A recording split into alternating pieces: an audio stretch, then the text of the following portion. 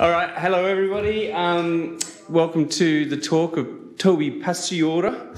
Um, let's begin by acknowledging the traditional owners and custodians of the land on which we meet today, the Wurundjeri people of the Kulin Nation, and pay, my, and pay our respects to the elders past and present, and elders from other communities that may be here today. So today's speaker is Toby Paciora from University of Tokyo. Um, I first met Toby and Jason and I first, actually Jason introduced us to Toby and I when he saw a talk of Toby's at Lawn last year, and uh, he said, "This is exactly what we need to do. This is the stuff that we need to do for our back inhibitors, which we got published earlier this year." Um, because Toby's work uses non-canonical amino acids and screening libraries of, non, of peptides with non-canonical amino acids to look at to find new binding partners or novel binding partners. Um, we both thought it was a cool talk then, and we're still hoping that one day we can start some collaboration on the matter. We've, we've been trying to move towards a CDA on that over the last few years. But in the meantime, Toby has, um, uh, Toby and I have been back and forth in contact a few times, and he said he was coming to Melbourne. So I said, well, you should come and speak at WEHI. And then some more interest has come along from his talk. So um, he's now got a couple of reasons to be here. Um, Toby did his uh, PhD at UNSW. He is a. Um, uh, he then worked for uh, Johnson and Johnson for a couple of years before uh, taking a year off and travelling around South America and uh, coming back to Australia and finding um, a position eventually at University of Tokyo, where he's an assistant professor there um, and working on these interesting library screening methods. Thank you, Toby.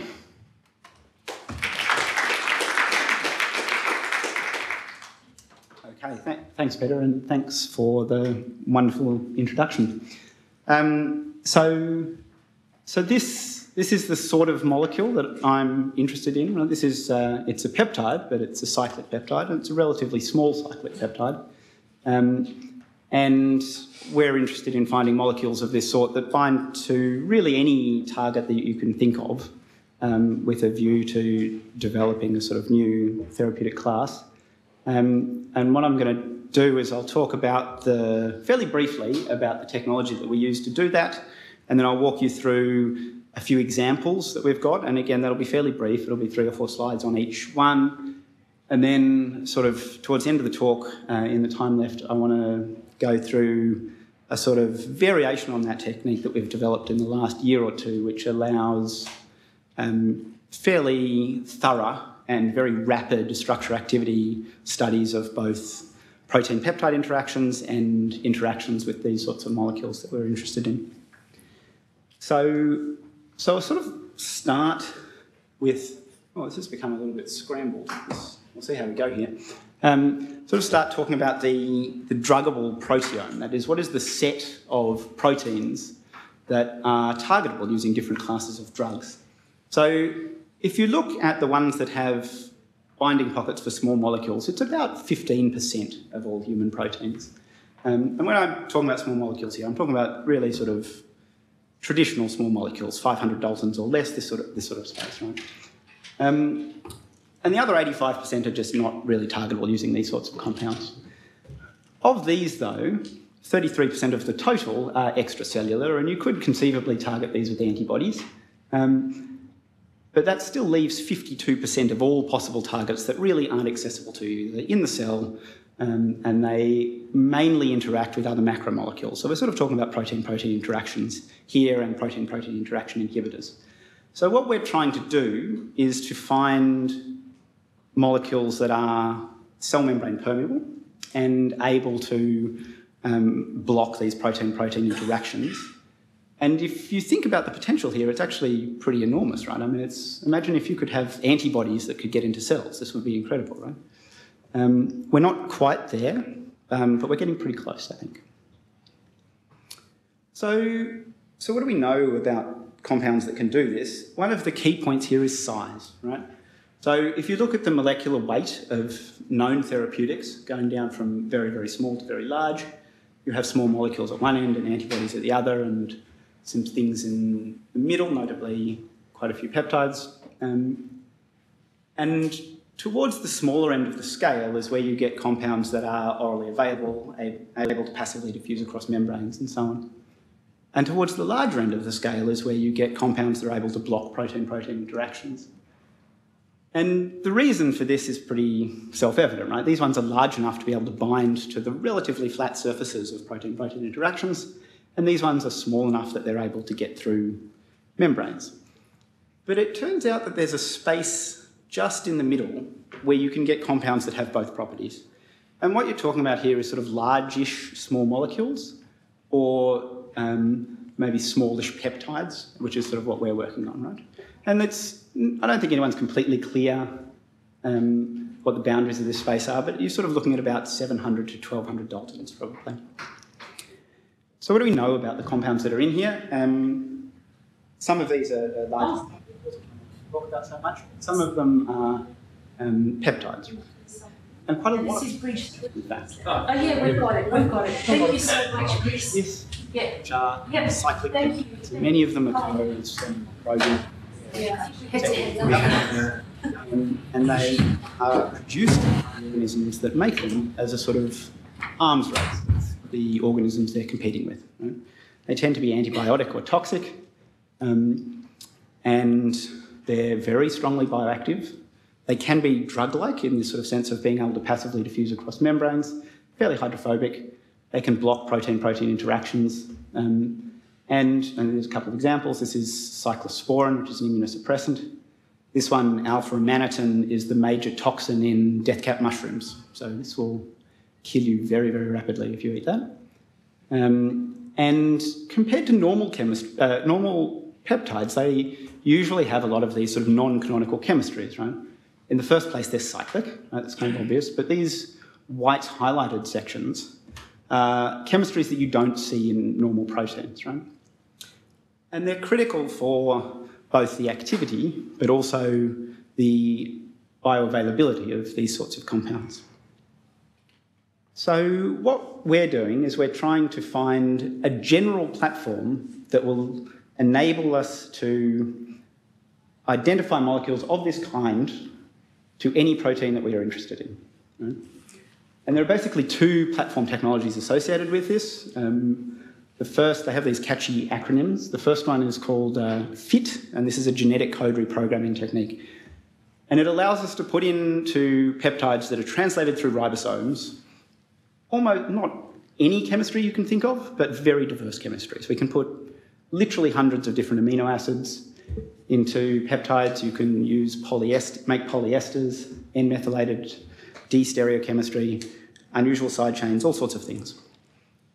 And the second, this uh, so-called RAPID, is a screening technology that enables you to rapidly isolate from libraries that you generate through FIT any compound that binds to a target of interest.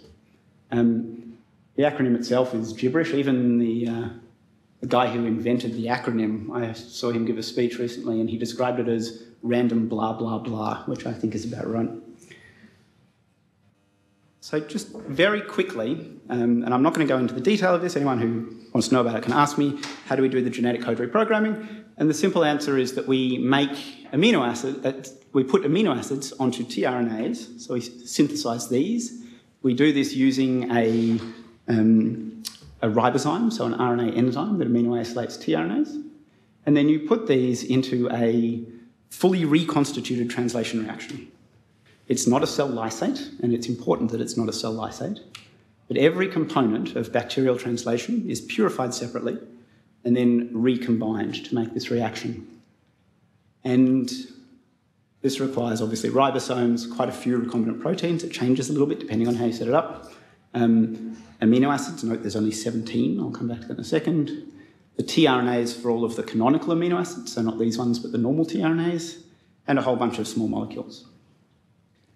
The reason that there are only 17 here rather than the full 20 is that you can't put something in unless you take something out. Right? You have to free up space in the genetic code for the non-canonical amino acids. And this is, uh, produces a certain number of limitations. We're getting around them in some ways now, but it is a fundamental limitation. This one here, um, I just want to point out, is a chlorocetylated amino acid. Um, and we use these very frequently as a way of making macrocyclic peptides. I'll show you how that's done in a second. It's useful with this sort of stuff to think about codon tables. Um, probably a lot of you haven't thought about codon tables since undergraduate biochemistry. um, but it is useful to think about them in terms of the genetic codes that are produced for different situations. And I'll show you a few of these. So here's just a, standard um, bacterial codon table. First position on over there, second position at the top, third position there, and uh, each one specifies a codon with the, the uh, relevant amino acid, right? Um, in fact, we typically use libraries that only have 32 codons. So you only need to think about two nucleotides in the third position. Right? Um, it's not really a big deal, but the, the codon tables I show you will usually only have two there. And for sort of technical reasons that I'm not going to get into, the, trans, the initiation of translation is a completely different event to the elongation of translation. And that means that you can think of there being two codon tables. One is for the initiating amino acid and only has a single amino acid in it and the, others, the other is for everything else. Right? So if you set up one of these reactions where you don't put in all of the amino acids, then that frees up space. You, you can free up the initiating methionine residue and other um, amino acid codons here. And then you can put in whatever you like, right? So this is a, um, a fairly representative example of the sort of thing we do. An N-chlorocetylated tyrosine at the um, at the first position. Um, and I think all of the peptides I'll show you today have this, or almost all of them have this uh, N-chlorocetylated uh, initiator. And then sort of whatever you want in the middle. We tend to put in a lot of um, N-methyl amino acids because we think these are likely to help with membrane permeability. So that's the basis of the genetic code reprogramming. That's a very brief overview, and like I said, I'm happy to talk about details if anyone wants to ask. How do you go from there to making a library of compounds? Um, and it's pretty simple. So you, you start with a, a stretch of DNA, uh, which is semi-randomized. So it has a randomized bit in the middle and known sections at the end. And this is a very short piece of DNA. You could just assemble it by a primer extension in a, a, a simple PCR reaction. And this is about 10 to the 14 molecules. Right? It's very easy to get high degrees of diversity with randomized stretches of nucleotides. You transcribe this into an RNA, you translate this into a peptide, um, and the N-terminal chlorocetyl group will react spontaneously with a downstream cysteine, which is encoded here, right? And you get a macrocyclic peptide.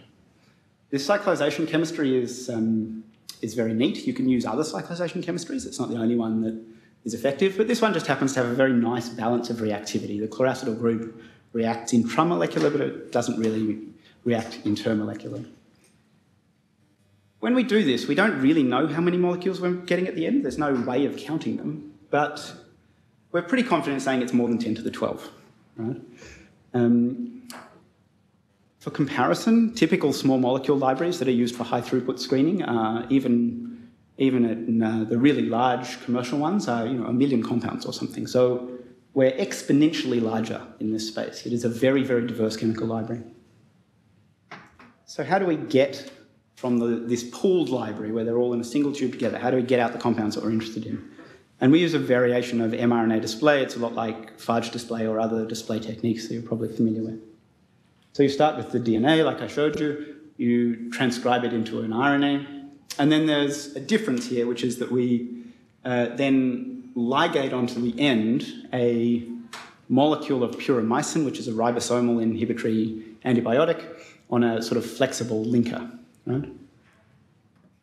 Then you translate this in one of your uh, specially reprogrammed reactions. The ribosome comes in, it produces the peptide. You've got a chlorocetylated initiator, a downstream cysteine.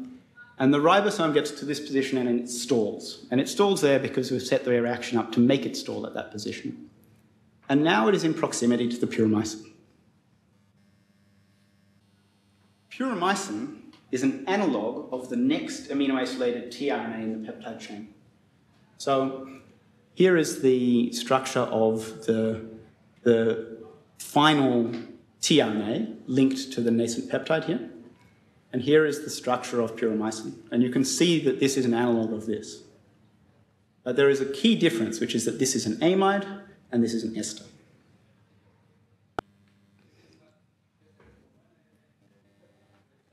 So you get peptidyl transfer, the peptide is transferred across onto the puromycin here, but this link is now not hydrolyzable, okay? So you now have a fully covalent link the whole way through here, down through this linker and onto the mRNA. And the key point about this is that this peptide is encoded by this RNA. There is no crossover here, right? This cyclizes, and as I showed you before, and now you have a library of 10 to the 12 molecules or so, where each peptide is linked to its cognate RNA. You can pan this for affinity against any target that you're interested in. The requirement really is you just have to be able to express it. Um, and you find what sticks, you wash away anything that doesn't stick, and you can recover this by RT PCR because you have the mRNA there. If it was just a peptide, you would have no way of recovering a single molecule like that. You now have an enriched library and you can do the whole thing again. So the typical rates of enrichment are about 10 to 1,000 fold per round. The library is about 10 to the 12 compounds, so it takes about five rounds usually for you to enrich the library to the point that it's just molecules that bind with very high affinity to the target you're interested in. It can be done quite rapidly. A round of selection takes about a day, um, so you can do the whole thing in a week. The peptides you get are very high affinity, they're high selectivity. You can make them by chemical synthesis, and you can get agonists or antagonists from this. So I'll just take you through a few examples of this. Um, the, in this first example, I'm not actually going to show you the sequences, they're a little bit secret. Um, but I'll give you some idea of what they are just to show you how things are going. Um, nearly all of our projects are collaborative projects. We work with people who are experts in a particular protein or disease, um, and we find ligands to uh, their protein of interest. This particular project is a collaboration with Glenn King at IMB at UQ, um, and the target was this ion channel. It is an acid sensing ion channel, um, and it is uh, to, if blockade of this channel is protective in ischemic conditions. And so it, uh, if you block the channel during stroke models in mice, you get really remarkable recoveries of the, of the mice after the stroke event. And we know this because there is a spider venom that you can use to block the channel. Okay? Unfortunately, it's a very large molecule. The experiments involve uh, direct injection into the brains of mice. So this is not really a very viable uh, therapeutic strategy. And Glenn was interested in getting a, uh, something rather smaller. I don't think the compounds we have will go across the blood brain barrier either, but it uh, serves as a useful example in this case. This is the sequence of the spider venom. It's a constrained peptide and it has this four basic residue motif that pokes into the acid sensing pocket of the channel. And as you'll see, the peptides that we have derived do so too. Um, and we started this work on the chicken protein because the human was not available at the time. Um, I'll show you some stuff with the human one later. Um, isn't the internet amazing, right? So here are, here are uh, eight of the peptides we pulled out of the selection against the, um, the channel the first time through. Um, you can see I've shown you where the basic residues are here, so you can see that there is the, um, the sort of we are rediscovering that motif from the, the venom, right? And here are the KD values. These are particularly strong. Uh, we don't always get things as good as this, um, but this is not the only case of them being, being, strong either. Some of these are so strong we can't really measure them. Um, we, we, probably could if we really tried to, but they are, they're off the bottom of what we can uh, get good data for by SPR. We did subsequently get the human channel, um, and in this case there is pretty good cross-reactivity to the human channel. We don't always see that. Uh, this one is selective for the chicken over the human. And these IC50 values are, um, uh, are um, patch clamp experiments. Um, so beautifully active, right? Picomolar activity on some of these, they're great. Um, and just to um, quickly show you that there are differences in the pharmacology of these as well, so they don't all act in exactly the same mechanism. Some of them are partial antagonists, some of them are fully reversible, some of them are partially reversible. So you get quite a few molecules out of these screens, right? And they behave in different ways. Um, because this worked so nicely, we, we went back and tried it with a more elaborate library. So the first one I showed you was just that chloracetyl initiator so that it's cyclized. This one is N-methylated, and so we chose a bunch of amino acids that didn't really come up in the first selection and replaced them with N-methyl ones. Um, and this time we had the human channel. And, and once again, thanks to the internet, I have a picture of a human for you. Um, I gave almost exactly the same talk yesterday at uh, MIPS, and I used a picture of Ray Norton, and I think I got a bigger laugh for that one. I think, think people like it when you mock Ray. Um, so these are the peptides we got off the, the human one. This one didn't work quite as well. Um, the the, the biggest variable in these experiments is the quality of the protein, because everything else is exactly the same, right? So my guess is just that the particular prep was not quite as good. Um, there were a few that uh, they seem to have these um, fairly basic motifs, but they're just not giving good binding. Um, we do, do see some false positives. It's not usually as high as this. Okay.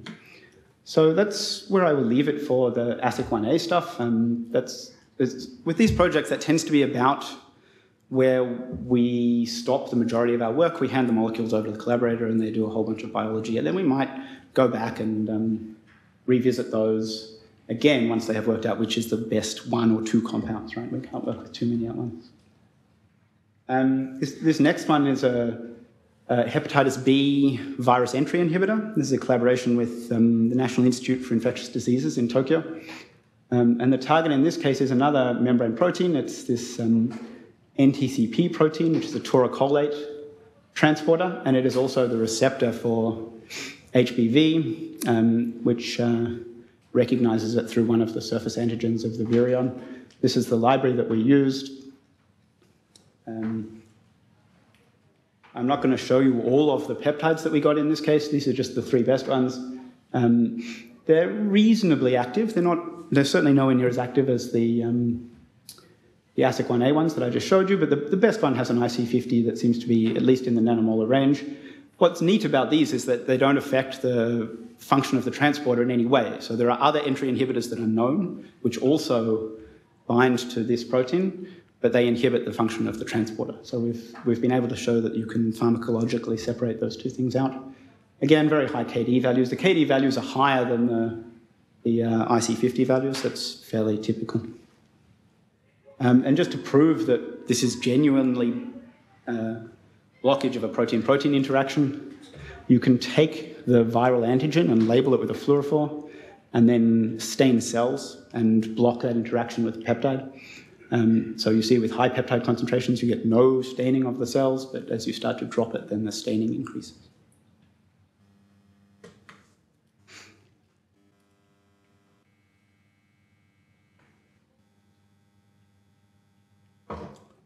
This next one is a project we've been working on for a long time. We've published at least two, we've published two papers on this, um, and there's a third one that has a bit more to do with it. It's, um, it's one of our longer running projects, and we've tended to, because we know this protein so well, we've tended to use it for experiments where we're setting up new uh, techniques a bit. So we've done a lot of work on this. Uh, this is a lysine demethylase, um, and it's, it's a collaboration with uh, Chris Schofield and Akane Kawamura at Oxford. And uh, this, is a, uh, this is the first intracellular protein I'm showing you now, right? So the, up until now we've been extracellular. This is the, the lysine demethylase itself. It catalyzes this reaction on histone lysines and regulates gene expression. Uh, and this is the structure bound to the natural substrate, right? So here is the trimethyl lysine poking down into the active site of the enzyme. Um, the selection against this yielded these uh, proteins, uh, these peptides, some others as well, but these are the ones that we sort of characterized in a bit more detail, particularly the top one, CP2, uh, which have this sort of conserved RSG motif. Again, sort of low nanomolar, um, well, there's an IC50. Um, KDs are also low nanomolar. And this is the crystal structure of it bound to the protein, right? So here is the, the protein with our peptide poking down into the active site. Um, and if you look at the peptide itself, you can see that it's actually a sort of mini beta sheet with a turn with an arginine that pokes down into the active site there. Um, and this is something we sort of see. You, you start to see in these peptides sort of proto structures, you know, a small stretch of beta sheet, half a twist of helix sometimes. Um, so you know, I sort of told you at the start that we're interested in trying to find things that will go into cells, right? And this is, this is really the big question. How do you get them into cells? Um, how does this one go in cells? It's totally rubbish. So this is the, uh, the one that we discovered. This is the in vitro IC50, and in cells you can just load it up with huge concentrations and it does not go across the membrane. Working off the crystal structure, we, we put in a, a number of um, sort of structural changes to try and increase the overall hydrophobicity of the compound in the hope to get it across the membrane. Um, and it works. This number is probably a little bit high, actually. It's probably closer to one micromolar. Depends on the assay you use. Um, and that does work a bit. We can get activity in cells. But there's still a pretty big drop off here. Um, in part, that's because just putting in these modifications has dropped the in vitro activity by more than a factor two, because when you select these compounds out of these very diverse libraries, any change you make to it weakens activity, or almost any change. Um, we've started to look at this far more systematically, so I'll show you in a minute. Um, and then, even accounting for that, there's still a 10 or 50 fold drop off going across the cell membrane. So, we'd really like to find things that are much better at going across membranes than this. Um, sort of making a leap back to the natural products I was talking about at the start. How class, close are we with this sort of compound to natural products like cyclosporin? The answer is we're not very close at all, right? I mean, you can do um, a, a, range of sort of more sophisticated statistical analyses looking at uh, surface area and all of the typical things, hydrogen bond donors and acceptors and all of this. But here is our original CP2, here is CP2.3, and here is cyclosporin. And I think looking at these pictures, it's fairly clear that this compound is both smaller and more hydrophobic than either of these, right? And cyclosporin is probably a bit of an outlier anyway. It's probably unusually large for a membrane permeable compound.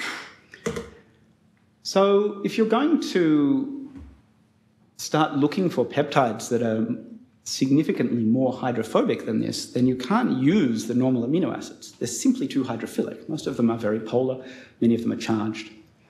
But we have the luxury that we can sort of just take them out, right? Because we can do this genetic code reprogramming. So here's an example of a selection we did against the interleukin 6 receptor. Um, so on the left here is the normal codon table. And in this case, the residues, the, the heat map here indicates hydrophilicity.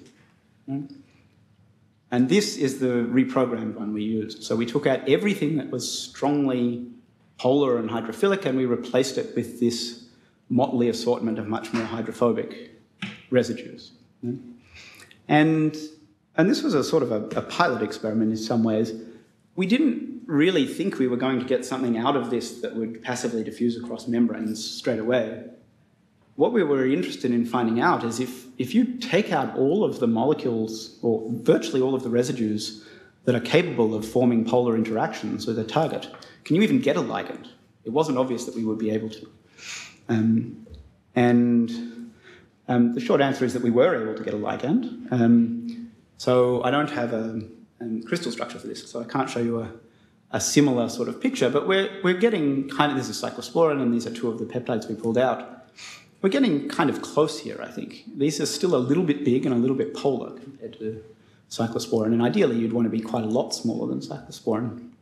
But we're still getting things that are in that low nanomolar range. So it seems like you don't need to have charged residues or, you know, um, asparagine and glutamine, these very strongly polar residues, in order to get ligands with a fair amount of specificity. I think we, we haven't investigated the specificity in a large amount of detail, but it certainly doesn't bind to BSA. We tested a couple of other um, common proteins as well.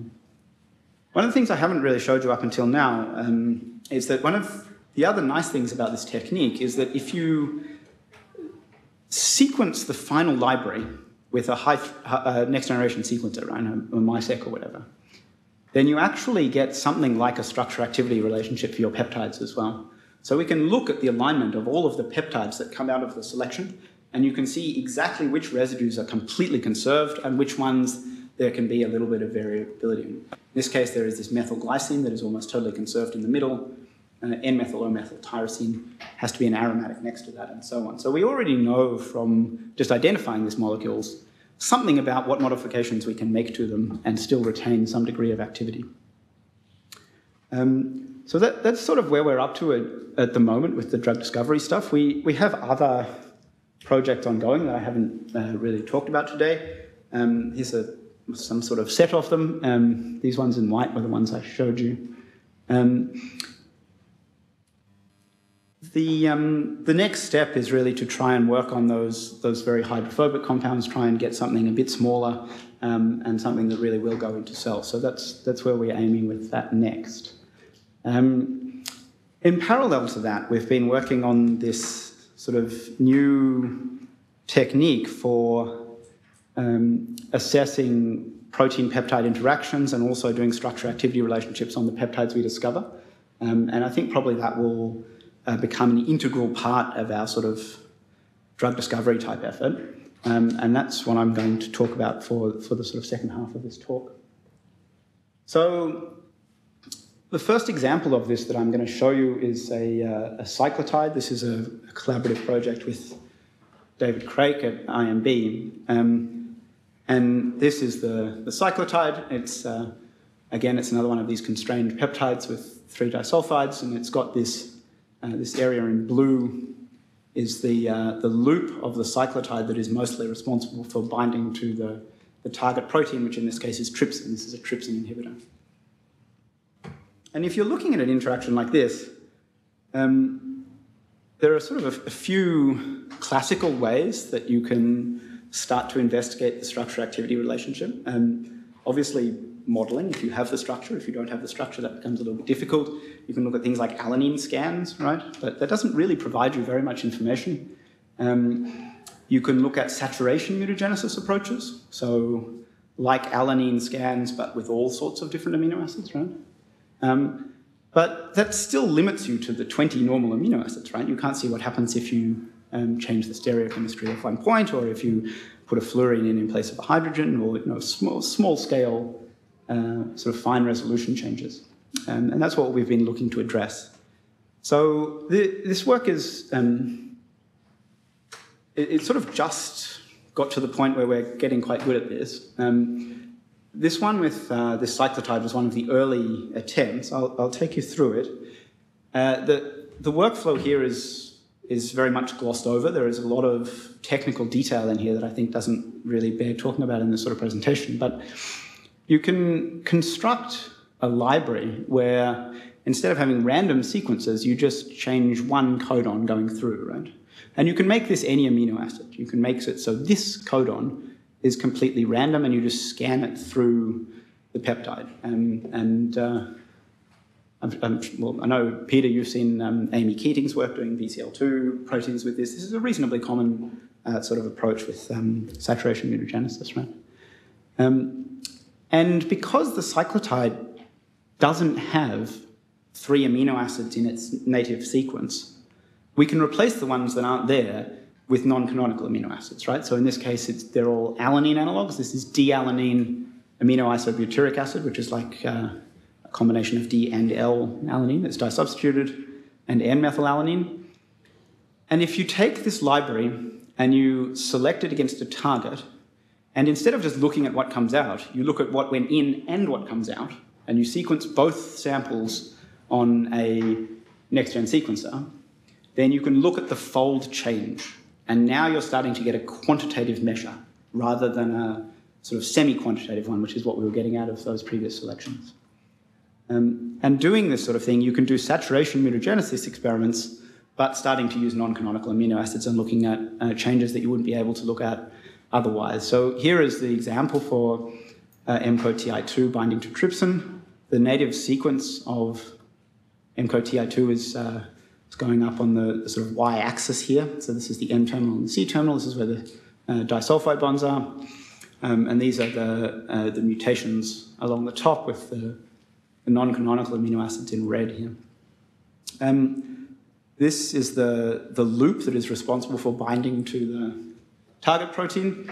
Um, and if it is blue, it means that you have weakened the binding, and if it's red, it means you have enhanced it. So you can see that mutations in this loop, particularly this lysine, which goes down into the um, basic amino acid recognition pocket of the um, trypsin, mutations of this are really catastrophic for binding, right? Um, and a lot of other mutations in this binding loop are also really bad. Uh, mutations in the cysteine residues, which prevent appropriate folding of the, the peptide, are also really catastrophically bad. Um, and most of the other positions are reasonably tolerant. Um, and you can start to see some sort of interesting things that you wouldn't be able to see looking at, say, uh, N-methylalanine and proline. You can see that they have very similar profiles, right? And N-methylalanine is an analog of proline. And most of the properties that you think of for proline that make it special are actually related to it being N substituted rather than it being a closed ring. So this is not so surprising. Um, so this was a, a nice sort of uh, proof of principle of what we were doing. Um, but we were still only able to use three amino acids, three non-canonical amino acids at a time, right? So um, this is a, an example that might be a bit closer to the, uh, the hearts of some of the people in this audience. This is the interaction of uh, a helix from uh, Puma with MCL1. And we started working on this because there was a postdoc in the lab who had come from um, Jane Clark's lab in Cambridge, and he had spent his entire PhD making variants of the protein and the peptide and getting very precise measurements of the, um, the binding affinity, looking at uh, delta delta G. Right? And what he was interested in trying to do was find a much faster way of getting those measurements. So this particular peptide, the, this bit of puma, is actually uh, it's a remarkably homogeneous peptide in terms of its amino acid usage. All of these amino acids in red are not required in the natural sequence, and you could, in theory, replace these with non-canonical amino acids it would still only get you to about 20, maybe 24 if you put two in in place of the serine and one in place of the serine, right? So you'd still only be talking about 24 amino acids if you put in a whole bunch of uh, non-canonical ones. And not only that, you would lose the information about what happens with phenylalanine mutations and serine mutations. So you would be losing quite a lot of the interesting saturation mutagenesis. So, so, so Joe, the guy that really did a lot of this work, worked out a very clever way that you can scan essentially an infinite set of amino acids through saturation mutagenesis experiments. Um, this is a little bit technical, and again, there is a lot of technical detail that sort of goes unsaid here, but basically, you use barcoded primers to encode genetic codes. So you can set up a reaction where you have a genetic code like this where just one amino acid has been changed. And you can set up another one where the same amino acid has been changed to something else. And another one where it's been changed to something else, right? So in, in this sort of example, um, we've got methylalanine, dealanine, amino acid, butyric acid, etc. And you translate the peptides like I showed you before for the cyclotide. So here, if you have a, a random codon, you get the um, methylalanine. Here, this one's methylalanine. This one it's D-alanine, this one is D-alanine, and so on. Now, I, I, told you right at the start that we uh, recover the library by RT-PCR, right? But in fact, we usually do the RT step before the selection because it stabilizes the RNA. So if you do your RT step with a barcoded primer, then you can use the barcode to tell you what is the underlying genetic code. So this barcode here tells you that where you see a methionine codon, it's methylalanine. And this barcode tells you that where you see a methionine codon, it's D-alanine, and this barcode tells it amino acid butyric acid, and so on. Okay? Then you mix the whole thing together, do the selection and sequence like I showed you before. And now in this case, we can start to look at much more diverse structures. Okay? So here is a set of 20 or more, 21 non-canonical amino acids that have been scanned through, and this is in addition to all of the 20 canonical ones. So we have a full set here of 41 amino acids, um, and really it is um, almost infinitely expandable if you're prepared to do a bit of work. We're doing some experiments now looking to push this out to maybe 80 amino acids. Um, and now you can start to see some, um, some much more fine-grained changes. So uh, it is probably the case that there are people in this audience who can tell you more about what this tells you about the interaction than I can, because I'm not an expert in this interaction in any way. Um, but there are some interesting points, right? So here are all of the N-methyl amino acids. And these are, again, these are like proline, right? Because these are helix breakers. So you mutate to those and you, you break the helix. Um, I believe that this alanine, um, the, the mutations that you see here, which are enhancing binding, are bringing it more into line with the sort of consensus uh, sequence for similar peptides that bind, right? Because there are a whole family of these things. Um, and this time, notice that I've got, I've got actual quantification data here, right? The way that this is possible is because Joe had spent an entire PhD measuring the delta delta G for many of these variants. So with a small number of actual measurements, you can then calibrate this back to a quantified measure. Um, and just in case you don't believe me that this is real data and that this is just noise and making it up or whatever, here are a series of mutants that show you the effect you can actually have on the KD. So this is the wild type sequence. This is the wild type sequence here, right? This we're looking at this yellow bit there, um, and it has a KD of about three nanomolar.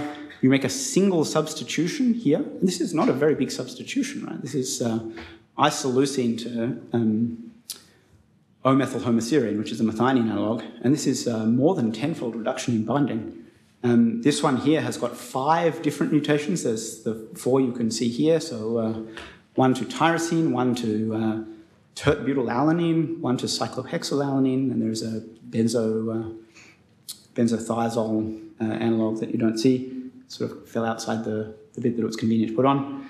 And this will give you quite a substantial increase in affinity. Right? So these maps that we are generating really seem to reflect the underlying interaction. And so, of course, ultimately, so that, that what I've just showed you is really nice as a way of looking at uh, sort of protein-protein and protein-peptide interactions. Um, ultimately, of course, what we want is to be able to use this sort of technique to do structure-activity relationships for the, the small, smaller molecules we're finding, the cyclic peptides that we're trying to make into drugs. Um, so this is essentially the same scan against this CP2 peptide that I showed you before. As I said, this is the one we tend to use when we are first working things out because we know it so well. Um, and one of the sort of nice things about this is uh, we can compare it to some of the non-canonical mutations we made based off the crystal structure in the first place. Right? So this D-alanine, for example, is, is quite nice. We know that this glycine can only be substituted to D-alanine and still retain binding, and that's what we see coming off the scan. Um, and I'm not going to show it to you now, but we have um, similar data for the peptides to what I just showed you for um, the Puma MCL1 interaction, where we can start substituting some of these in and seeing the, the, um, the KDs change by exactly the magnitude we would expect. So if you're careful with how you do this, you can get really very quantitative data. Um, so I'm going to leave it there for the moment. Um, the, uh, this is the sort of summary of this second part about how you can adapt these uh, screening uh, techniques into doing uh, quantitative SAR type studies. Um, and as I said, we're looking to extend these out into um, larger sets of amino acids. It's hard to know how many you really need. Um, and I think that for those sort of more hydrophobic cyclic peptides that I was talking about at the start, well, not start, at the end of the first section, about how you can get these into cells and so on. I think the way forward is sort of a combination of these two approaches. So we need to start from something that's fairly small and hydrophobic, maybe something that is even a slightly weaker binder than the ones we're getting at the moment. You know, 500 nanomolar would be fine. And then use these SAR approaches to really tighten up the binding in a way that retains the hydrophobicity at small size. Um, so that's what we're looking to do next. Um, and it just leaves me to uh, thank this huge number of people that have been involved in the work across a large number of different institutions and, um, and the funding agencies as well. And all of you for listening. Thank you.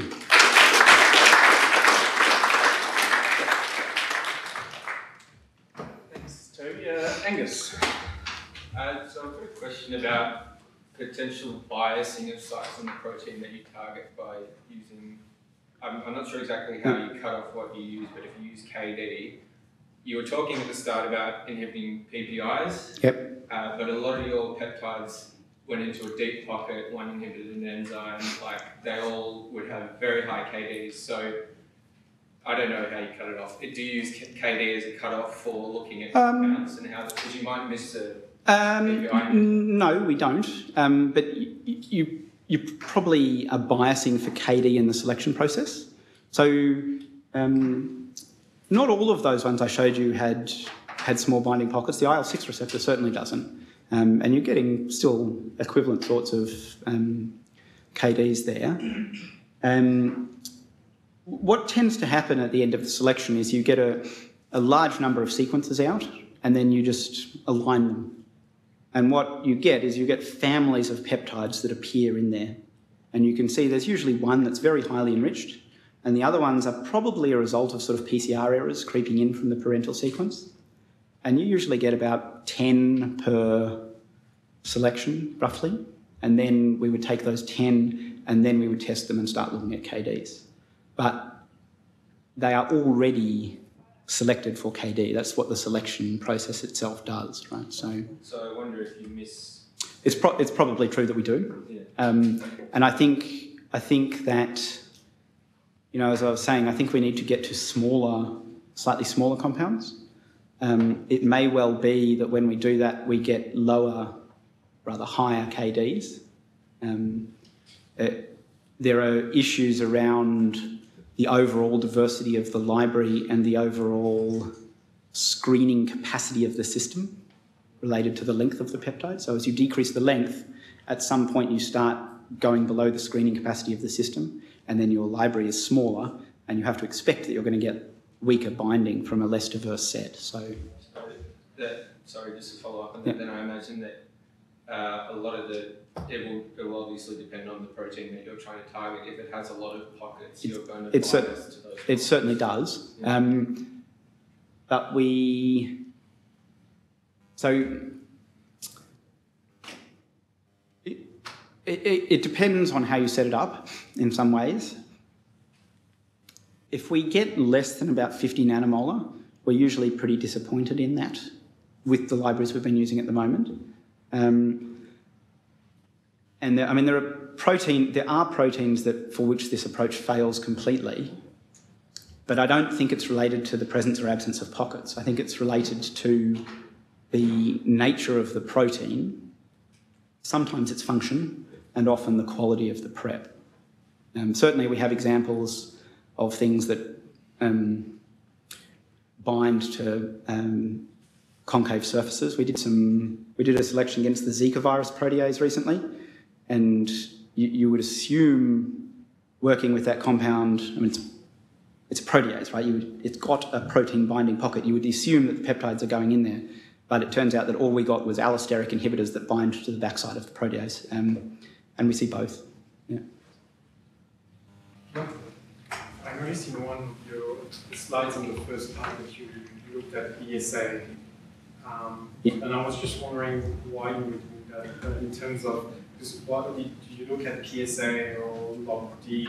Because that would probably be better parameters for cell penetration rather than BSA, which in some way. um, Oh, so, so, so BSA on there was sorry. That was um, that was a binding specificity. Oh, okay. That was bo- bovine serum albumin. So it, it's just that it. Um, we were worried that with such hydrophobic compounds, it was just non-specifically sticky. So, so we did some binding to some other things, and uh, one of the first ones we did was bovine serum albumin because it tends to bind to sticky things, and it seemed like a good control. Yeah. Well, Um, I was just curious, how are you maintaining your libraries? Are these just, are you- they just synthesize DNA that's incorporating all the mutations that you want, or are you Yeah. So the cloning techniques? Um, so the we make the DNA by primary extension from oligos. We do that in one go, and we transcribe that into RNA in a bulk lot. So typically, sort of a, a 10 mil transcription reaction, and then you purify that off a, a page gel. This is all it's all molecular biology of like so 30, 30 years ago. You're not like making clones through bacteria? No, no. We so so what we used to do, um, and it, it's not really the library synthesis. We, we used to do the sequencing by Sanger sequencing, and then you'd have the clones of the final products in bacteria. but no, the, the initial stuff, it's all, you, you can't put it through bacteria because the, um, well, yeah, it limits your diversity. And that's why this sort of approach actually works a bit better than phage displays because you can, your, your only limitation on diversity is concentration in Avogadro. You don't have a transformation step. Is Isa was next. Um, not sure it says that, but so you probably screened a lot of protein Mm. right now. Mm. Uh, so you've screened from classes of protein and with defined scaffolds. You mean the peptides have defined scaffolds or Uh, the, the protein will have Yep. uh, protein. Um, I talk about the kinase Yep. scaffold family and, and Yep. so on with some sort of conservation in the scaffold. So do you see in maybe not now, but do you expect to see some redundancy? You know, you screen one type of uh, kinase and you go to another one and you find some um, similar peptide, so you can actually build It's- full knowledge it's- around this particular scaffold. Um, I'm not sure. So, so I, I haven't talked about the sort of specificity at all here, but the specificity is usually very, very high. So that example with the human and the chicken protein, that is unusual because the peptides were binding to the orthologs from different species. And we usually have some trouble with that because you can't do mouse models or anything because the, um, the ones you select against the human won't hit the mouse one afterwards. So there is a very high degree of selectivity. Um, having said that, we've done some work with, um, with metallo-beta lactamases for antibiotic resistance, and in that case, we had three homologous proteins, and the objective was to hit all of them, right? And the approach we took in that case was to um, run the selection in parallel against each of the three targets, and then you can kind of cross the streams later on, right? And mix it all together and then reselect and see what hits all of them. Um, and doing that, we were able to find some molecules that were active against all three, and also we could find some that were specific for each one. And there did seem to be sort of um, identifiable features about the peptides that came out that made it look like these ones are going to hit all three together. But it, I think I think it's hard to generalize. Yeah. John, and then on the back end. The, the thing that fascinates me is being able to target the intracellular proteins. Hmm. With all this screening technology and bearing in mind that you have a scaffold, I wonder, have you thought about trying to identify a better scaffold that has better Yes. uh, Um, membrane permeability and then kind of lock? I know you like the variability Mm. in the million positions, but locking in some of that Yeah. variability. Yeah, um, we, we have. Um, part of the problem is that the, um, the, the, the compounds that are known to be able to do that are slightly different chemically to the ones we are able to display screen. Okay, so cyclosporin, for example, is head to tail cyclized, and that's I impossible. was even thinking of your your base uh, cyclic peptide and actually screening for things that go through membranes better. Yes, so we have. And We, then we've, you would find we- positions might we've-. We've also thought of doing that. Um, at the moment, we just don't. I mean, so so using the technique we have, you can't screen for um, things that go through membranes because You lose the tag. yeah, because the so so it you could could you not like link it to some sort of fluorophore and then just take a component and on a on a plate reader or something? um, so you you could try that, but the um, so, so we so we so we, we have tried a bunch of things and they've always failed. um, so so the you don't quite get a sense for the um, the the molecule when I show them as those cartoons, right? But the RNA is nearly everything. It's a huge RNA with a little peptide hanging off the end. So anything physicochemical is going to be mostly about the RNA. We've done a little bit of work with um, membrane coated magnetic beads in the idea that you might just be able to get something that goes into the membrane. Um, and that has been somewhat promising. Um, but so far, what we've got is sort of cell penetrating peptides, so arginine rich um, peptides, and they are cell penetrating. We can make them by solid phase, and but they're not these sorts of cyclospore or anything hydrophobic things. Um, we really need to go back and do those experiments again with a library where you've got a much more hydrophobic set of amino acids and see what comes out, see if we get things that are passively permeable. The other thing we've thought about is just making them by solid phase in with our linkage chemistry at smaller sizes and running pamper assays and these sorts of things. But we just we don't have good examples at the moment, so we need to find them. Fantastic stuff. Just uh, along those lines, I was kind of intrigued by the your hydrophobic peptide libraries. I mean, how are you balancing solubility? Yeah, so Yeah, how many are you losing? I, well, so we don't lose any in the selection because before the selection and the production. no, no, no, because it's, it's okay because they're linked to the RNA and the RNA makes them soluble. But, But, but, but, but, but when we come to make them by solid phase, Yeah. then they are very difficult to work with. So, I mean, that hydrophobic one that I showed you, I showed you two peptides that we were able to measure KDs for, but there were others that we were not. Yeah. Um, That's, gonna, that's what I was going to ask a similar question, sort of, you know, you're balancing the, mm, your scaffold for your specificity, but then adding a component for self-penetration, but then you're getting bigger, I guess, and away from what you want. Yeah, and I mean, so we've done a little bit of work with cell penetrating peptides, and it hasn't really worked very well for us. Um, our experience with, with cell penetrating tags is that is that you need you seem to need to get about a critical threshold somewhere. You seem to need to be at 500 nanomolar or one micromolar before you get good cell penetration. And I mean that's okay, but it, most of our molecules in vitro are active at you know 10 or 50, and it's just a bit disappointing when you have to lose, you know, 10, 20 fold of activity. It's a pretty common feature. Yeah, yeah, I mean, it's, the it's the same problem for everybody, right? Um, so uh, it, it, it's definitely, it, you know, I, mean, I don't need to tell you it's in the field. Um, I think, and and we have a slightly different problem to a lot of people because um, most people working in this area have a specific molecule that they're interested in and they want to know how can I modify that to make it go through membranes. Whereas what we want to know is we want to know what is the general properties of the library that will bias it for that. And so there isn't much literature around about which amino acids are best for that, you know. How does phenylalanine compared to compare to isoleucine and th- these things? So there's work to be done. I think, and, and again, I'm sure you know this, but I think the the last two years have seen a real explosion in people applying sort of traditional medicinal chemistry type.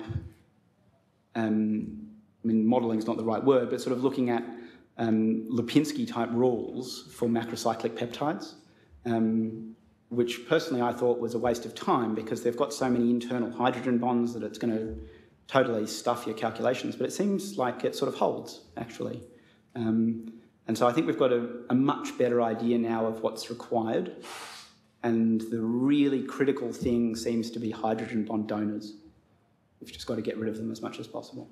So, It's three o'clock, um, so we should probably wrap it up there. So thanks, Toby, for a great talk. Thank uh, you. Toby is around if people want to speak to him a little bit, but he's got a pretty full schedule, so you'll have to be important.